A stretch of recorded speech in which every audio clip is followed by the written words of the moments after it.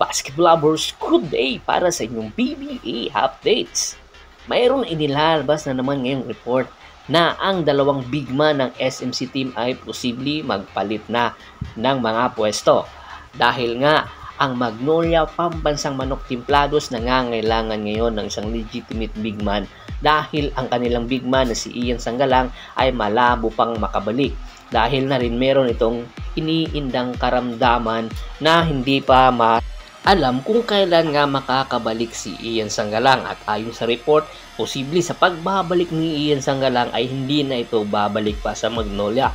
Dahil ititrade na ito ng Magnolia Pambansang Manok papunta sa SMB kapalit ni Big Manuel na kung saan si Big Manuel ang kinakailangan ng Magnolia ngayon para punan ang nawalang pwesto ni Ian Sanggalang at posibleng pagkaka-reunion din ni na Big Manuel at ni Calvin Abueva sa Magnolia. Kaya naman, isa ito sa mga posibilidad na pinag-uusapan ngayon ng management ng Magnolia at ng SMB kung itutuloy ba ang nasabing trade transaction dahil si Ian Sanggalang bata pa. Samantalang si Big Manuel ay malapit na nga magretiro. So, kumbaga, magdadagdag ang SMB ng mga possible player or trade asset or future picks para lang matuloy ang nasabing trade transaction. Dahil ang dalawang player na posible magpalitan ng team ay kapwa makikinabang ang mga team na kukuha sa kanila lalong lalo na si Ian Sanggalang sa ilalim ni Junmar Pajardo ay malaki ang matutunan nito at posible magkaroon ito at madagdagan ng kampyonato sa SMB samantalang si Calvin Abueva rather si by Big Manuel naman ay malaki rin ang tsansa na maging superstar sa Magnolia at maging main big man ng Magnolia dahil na rin sa kanyang kakayahan at posibilidad na pag-usbong muli ng kanilang partnership ni Calvin Abueva na kung saan badly needed nga ngayon ng Magnolia pambansang manok. Ang hinihintay na lang kung sino ang posibleng maidagdag at bago matuloy ang nasabing negotiation.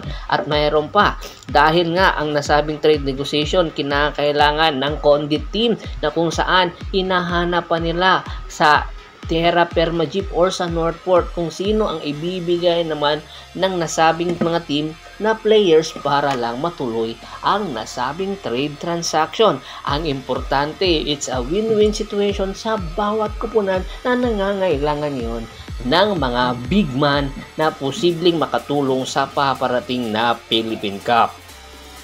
Meron din nagsasabi na ang nasabing trade transaction ay ang nanalo dito ang SMB lang dahil nga ang SMB. Isa ito sa mga banner team ng SMC na kung saan kinakailangan nga ng management na palakasin at ibalik ang kampyonato dahil ang namamayagpag ngayon sa SMC team ay ang Barangay Ginebra San Miguel lang kaya kinakailangan palalimin din ang lineup ng SMB dahil nahihiya na ang may-ari at management na ang kanilang banner team ay hindi pa nakakakuha ng kampyonato simula ito ito ng iwan ni Coach Leo Austria at isa rin posibilidad na posibleng magpalit ng head coaching ang SMB at tinitingnan na ngayon ang posibilidad ng pagkuha kay Tab Baldwin na kung saan gagawin nilang team consultant pero ang magmamando ay siya rin mismo. Katulad nga sa nangyari sa Token Picks na nangangailangan ng team consultant,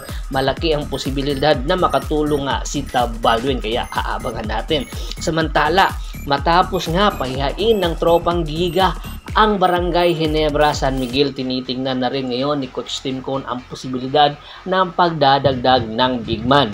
Dahil nga, mayroon pang iniindang karamdaman or injury, si Japit Aguilar tinitingnan ngayon ang posibilidad na magdagdag ng wingman or big man na posibleng magiging backup ni Jamie Malonzo. At tinitingnan nga ang paghugot ng Barangay Ginebra kay Tyrosil na isang high flyer big man. Meron shot blocking ability, meron outside shooting ability na kinakailangan lang pahinugin ng Barangay Ginebra San Miguel. At tiyak Black. Isa na rin ito sa mga uusbong na superstar sa hinaharap si Tyrosil.